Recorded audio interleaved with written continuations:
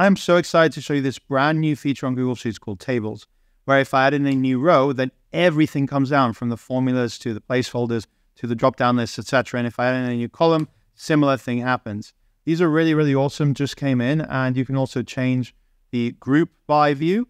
I'm going to show you how we used to do it and how tables change everything when it comes to Google Sheets. My name is Benaim, and I have tons of videos on Google Sheets, Excel, PowerPoint, Zoom, Teams.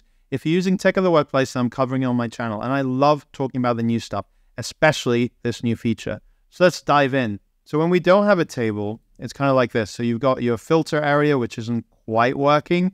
For example, if you filter for this, then it's still kind of ending there. So it's not just showing you those things that you ticked. You've got a lot of other things. So as you add a, add a new column, that doesn't automatically expand. Let's say I'm going to add here a date. So 13th of November.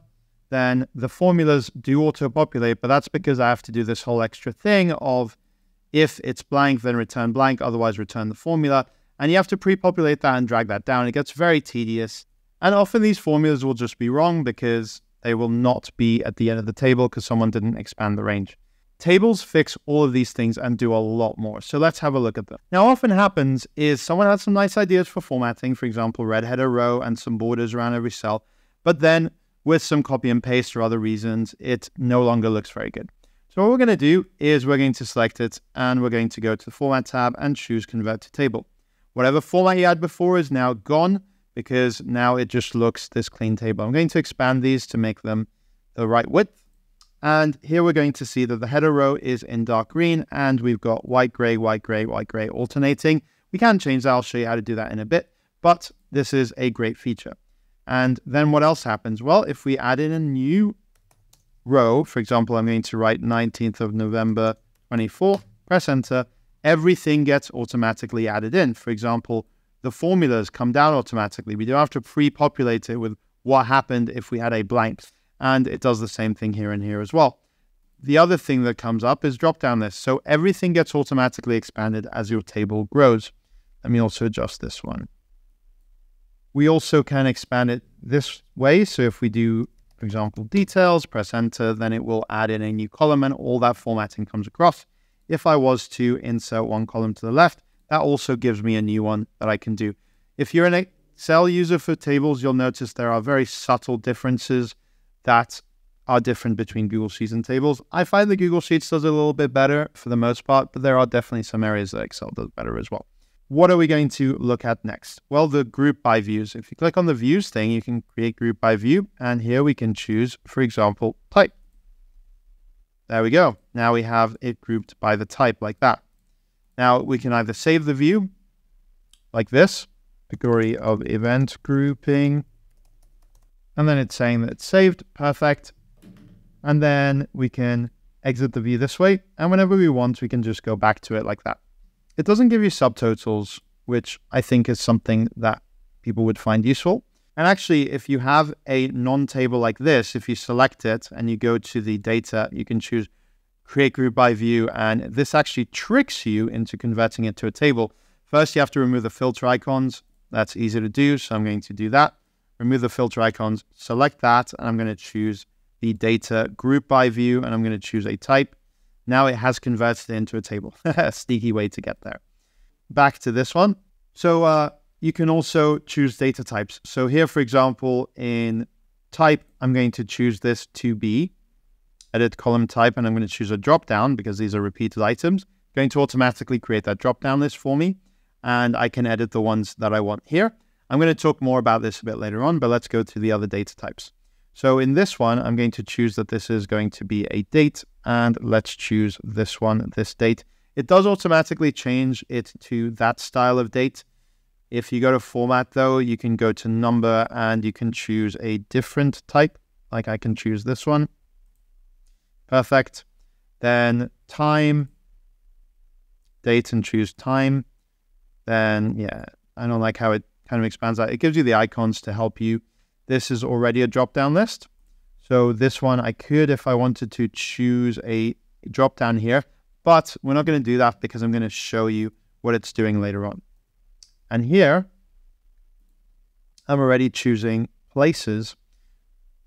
So I can actually click on here, edit column type, and I can choose these things called ch smart chips, which are really smart, as the name implies. So I can choose place. Perfect. And then it will give you this placeholder. By the way, you can get a placeholder anywhere. If you have here, for example, the time, I can choose that this is going to show placeholders as well, and it will show it to you like that to indicate how you have to enter the time. So one of my favorite bars is called Backstreet Bar. Go for Phnom Penh because that's where I currently live and put it in there. And then it's really cool because the user can just hover over it and see that and get a live link to the map. If they click on it there, they can even get it opening up in a sidebar. This is something that Google invented. And you can also do it for names. So you don't have to highlight it. You can just click on here and I can choose edit column type, smart chips, and you also have people. And here we'll go through the people that you have in your Google account that are either inside your organization or outside or linked or whatever. And then you can click on that and it will show you a list of names. So all the other ones in here in Smart Chips, you have file. So you can upload a file that's saved on your Google Drive. That's pretty useful. Finance will be like stocks or currencies. I've never used that one. And rating could be just a rating scale like this where you can rate from zero to five. I'm going to undo that, Control Z. I could add in a new column. So I'm going to insert that. It will put a placeholder name, column 14. I'm going to say enjoyed it. And I can set the column type here to be a checkbox. Something which has existed in Google for a while is in preview only in Excel, but not yet fully released. And attendance, I'm going to choose here a number. This is a very common data type, a number, a percent, or a currency Just going to do number there. It doesn't have formulas. I wish I could tell it to have a formula that it locks, but it doesn't do that. And also, if you are going to have some text, you can just make it a column type of text like this. And that will allow you to even write in a phone number like that, starting with a zero, and it will not make it into a number, which can be pretty useful. Another way you can get to tables is if you, like wherever, you can go to insert and you can choose a table here, and then it will give you these pre-built ones. So for example, events list, these are the features one project task, but you have loads of categories for things you might want to do. And you could see how it's going to give you the placeholders and everything else. Or help me create a table is going to use AI, Google Gemini to help you do that if you have the right version of it. But I'm not going to show you that right now. So we can also rename it. So if you click in this box, you can just type over. So events listing. You need an underscore because if you do a space just to show you, it will tell you it doesn't work.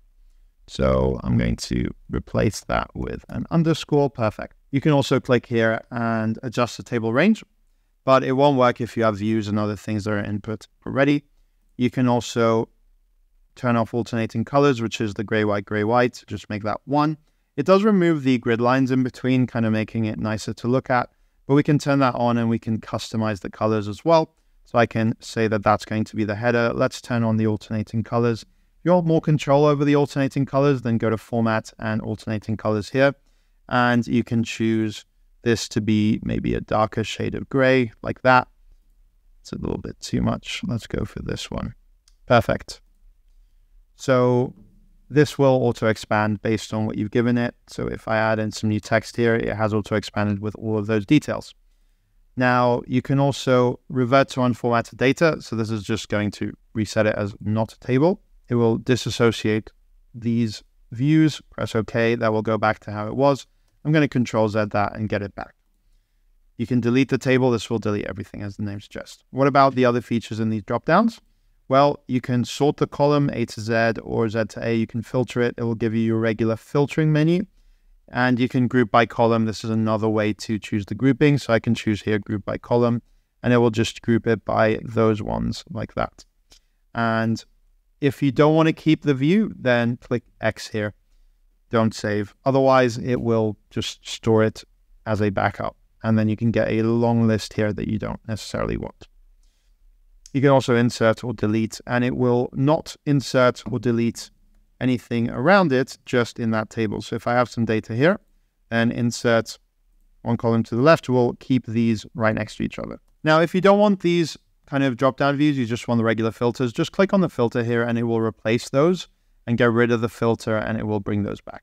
What I'm going to do is add in a new formula column. So I'm going to just start typing and I'm going to say this is price, price, enter. You do often want to have blanks in between. So I'm going to insert left and not have that be a table.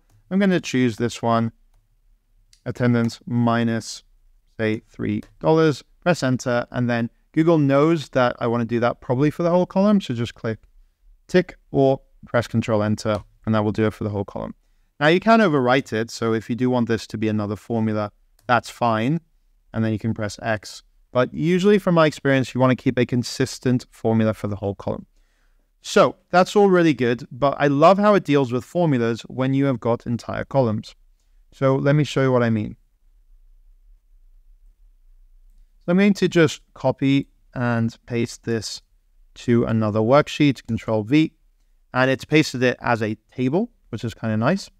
And I'm going to copy that again and paste it as a non-table by clicking on here and choosing to revert to unformatted data. Now, if I was to do a sum equals sum of this data and close my brackets, it will give me 530. If I was to add in a new number here, then this will not get added to the total. And we know that that's a very common issue in Excel and Google Sheets. However, this is such a common error that it even has its own name. It's called an error of omission in the accounting world. That's how often it happens. Well, what about if your source data is a table? Well, if I do equals sum of this one, it's saying equals sum of table one. And I'm going to close the brackets like that. It's going to be called 530. Now, if I add in another number, that gets automatically added into it. Why? Because it is summing everything in the table. Now, if I was to rename the table to be attendance, enter, now this is going to be equals the sum of attendance. Now let's say I want to add in a new column. So I can add in a number like this. And this is now adding everything in attendance, which is now two columns wide. Well, what happens if I want to change this to just be the first column? I'm going to say equals sum of just this one, and it will be the attendance table and the attendance column. Close my brackets, and it will be that. And again, if I add in some new numbers, that will be added in as well which is really useful. So everything that's linked to the table will automatically grow. So going back in here, so here, for example, I have an XLOOKUP function, love XLOOKUP, that is looking up this value in the column called event and returning the column called date. However, brunch is not in this list. Well, if I add in a new row for brunch, and then I add in a date, so 17th of November, suddenly that will automatically populate here. Because when you write the formula, and just to show you how it is, so look up that value in the lookup range is going to be this column. If I go exactly to the top, not including the header, it will show me event. If I go one above or one below, it will show me the regular cell reference. Then I press a comma and I am going to return this and go all the way like that. Interestingly, if I drag this across, this formula. Now it is still looking up event and date. So it's kind of like if I'd have pressed F4 to lock in the start and end value, it doesn't work with relative referencing. Another way to think about this is if I select it and I insert a pivot table, then the data range for the pivot table is the table called events listing. It's not to do with the cells that start at A4 and end wherever the table ends, and therefore it doesn't grow. This will automatically grow as new data comes in. Drop-down lists do expand. So if I was to select this and make it into a table, convert to table, then if I was to add in six and seven, then if I look in the drop-down list, it will show me those expanded options, which is pretty cool. A couple of ways that it works differently with shortcuts. If you want to select an entire column, it's often control space. A control and space if you're in a table, select from the top to the bottom of the table, including the headers, slightly different to Excel. Shift space will select the row from the beginning of the table to the end of the table, which is useful rather than formatting everything all the way until the end. Now I'm going to expand and insert two columns to the left, and I'm going to split this. So this is going to be continent and country. And I'm going to say equals split. I love this function. This one, I'm going to split it at the chevron with space before and after. So that will give me the result in two different rows. Excel, this actually wouldn't work because uh, you can't use these formulas that return multiple cells inside tables. In Google Sheets, you can. Now, there are a few limitations. For example, the unique function or anything that will return a whole table. If I do equals unique of this, this will return all of the unique values. If I was to make this into a table, then I go to format, convert to table, then it will look like this. And if I was to say that actually I'm going to add in UK, that's going to grow because it's inside the table. But if I'm going to also say Europe and Portugal, enter, uh, this is going to grow below the table. So dynamic arrays, which are formulas that return multiple rows and columns, do go outside the table. They don't auto expand. This might change in future, but this is what I have found. You can't have a formula in the header row. This is similar to Excel. So if I write equals to a cell, it will tell me I can't do that. And also, you can't merge cells inside a table. It will tell you you can't merge cells inside a table. Comparison to Excel doesn't freeze panes automatically. So if you are going to scroll down, you're not going to see these as your headers, which is fine. I don't find that's too much of a thing I take advantage of. And also you have structured references for the whole column only, but you don't have a structured reference for the header name or for something in the current row.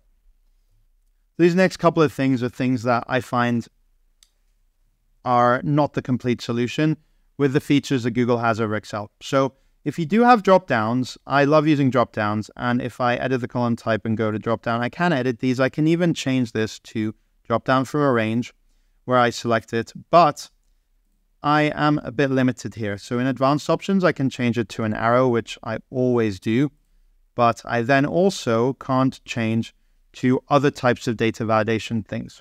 So someone can still enter the wrong thing and it will just show them that red mark. I can't change that. That is the default setting with Google's Sheets data validation. However, you can change that. So here I have some data validation. If I go to data and choose data validation, I get this pop up on the right, and this is it. And here I have a lot more control in advanced options. Specifically, I have what to do if the data is invalid, and I wish it would do that. Even if I show this as a date, if I was to type in some text, it will just show me that is invalid, but it is not something I can change. If I click here on edit column type and choose date, all I can choose is the date. I, I won't get any options afterwards. I wish there was a thing here to say block invalid data, but unfortunately that's not something that it can do at the moment. Maybe that will come in future. It also kind of covers these cells or this one cell, one or two cells. So just be aware of that. Can be a little bit frustrating that you can't read what's behind it. And there's no way around it, even if you click outside the table. All right, so I hope you've enjoyed that video. My name is David Benaim. I have tons of videos on Excel, Google Sheets, PowerPoint, Zoom, Teams. If you're using Tech of the Workplace, I'm covering on my channel. So check out my other videos. Thanks for watching.